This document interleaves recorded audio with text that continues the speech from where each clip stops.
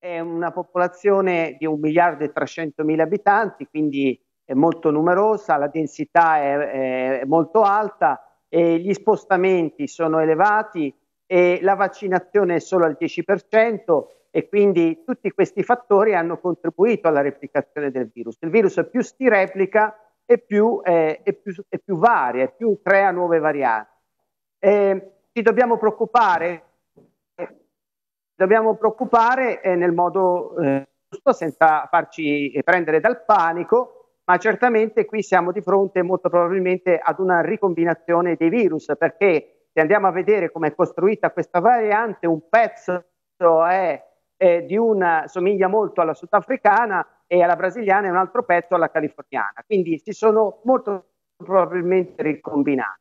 E questo può avvenire in qualsiasi paese. Cosa possiamo fare noi? Noi dobbiamo stare molto attenti agli aeroporti, perché ci sono anche dei ehm, delle triangolazioni, possono arrivare da tutte le parti del mondo, anche attraverso Mosca, ad esempio, attraverso scali intermediari e che quindi questo permetterebbe di sfuggire, potrebbero sfuggire questi, questi soggetti ad alto rischio provenienti dalla, dalla, dall'India, dalla Cina e dai paesi dove la pandemia è ancora molto elevata e, e questo potrebbe determinare per noi una, una catastrofe. Quindi stiamo molto attenti agli aeroporti, facciamo molti controlli negli aeroporti, tamponi molecolari sempre. Questo è la, la, il primo punto sul quale dobbiamo veramente focalizzare.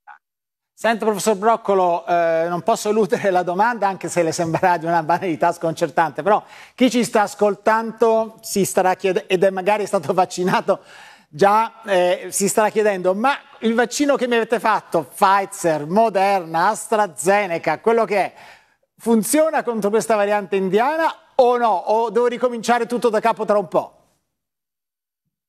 Allora, chiariamo, uh, funziona, eh, direi molto, con molta probabilità, certo la certezza non la, non la posso dire con certezza, ma con una probabilità molto alta contro la malattia, contro il Covid, contro un Covid grave, quindi è protetto dalla malattia grave.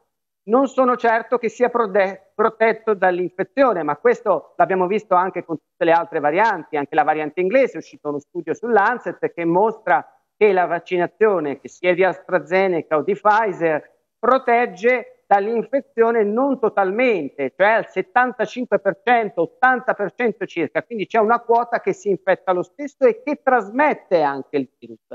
Quindi però l'importante è capire, dare un messaggio che protegge dalla malattia. Protegge sempre dalla malattia, nel 95-97% dei casi. Nel, dall'infezione protegge meno.